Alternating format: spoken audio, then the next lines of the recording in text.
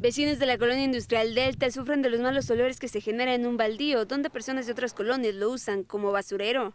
Animales muertos y basura inorgánica es lo que se encuentra entre la maleza del baldío, que se ubica entre la calle Omicron y Z. Pues es que está muy mal, ¿no? O sea, tienen que recogerlo, pero no sé dónde se deba de reportar o cómo.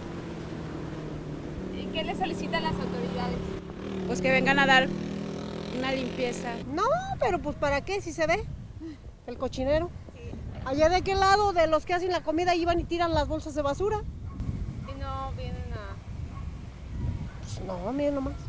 Los trabajadores de la zona resaltaron que es muy peligroso pasar por la noche porque los vándalos se esconden entre la maleza y han ocurrido varios asaltos. Pues está muy feo, da una muy mala vista.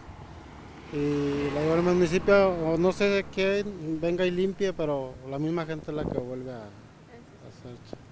Ya lo han reportado las autoridades desde hace tres meses, sin embargo, aún no reciben ayuda.